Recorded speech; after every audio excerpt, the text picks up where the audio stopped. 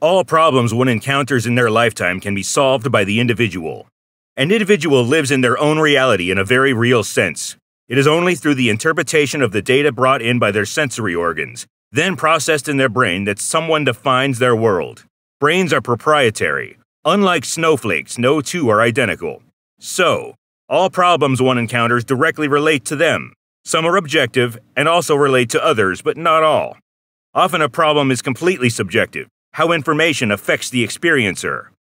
Mental states directly affect the physical body. Happiness and the sense of impending danger, for example, will use different nutrients in different amounts for various reasons. Someone who is stressed will have a heart rate higher than someone who is relaxed.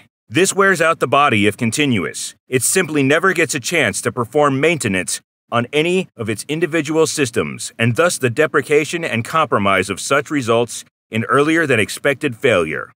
If a problem with information can be dealt with quickly, then the individual now benefits from being in a state that is far better suited to analyze data and perform the necessary physical tasks required to actually solve the problem in an objective sense if this is deemed to be an appropriate course of action. Words by themselves carry no information. A language the interpreter cannot understand is without message. So words, written or spoken, rely on the receiver. There is, of course, the original intent of the sender speaker. But for that information transfer to be accurate, both parties involved must be incredibly comprehensive in their communication to efficiently deliver data to another with as little as possible dilution or distortion requires an understanding of the target's processing tendencies. This takes time. All the time an individual has before death could be spent understanding one other person's interpretation of language in order to ensure the accuracy of information transferal. This is the advantage of long term relationships with others. It is an active activity, Understanding of this type and depth is simply not an effect of proximity, although one party could be actively observing another and gain insight of some type. This is always limited to the observer, however, because the data is collected is collated using the previous standards and methods available. This results in only how the individual relates to the other.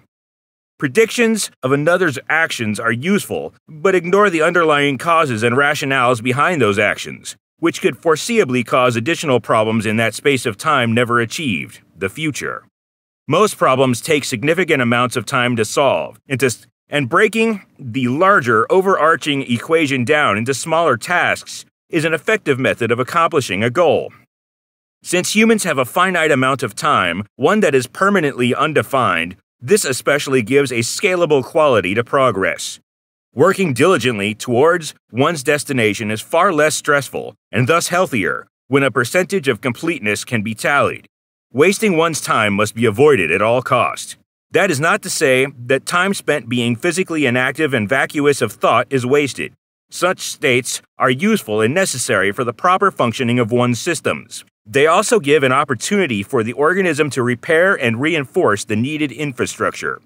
However, this message finds you today, give it some thought. I promise, it will be worth it.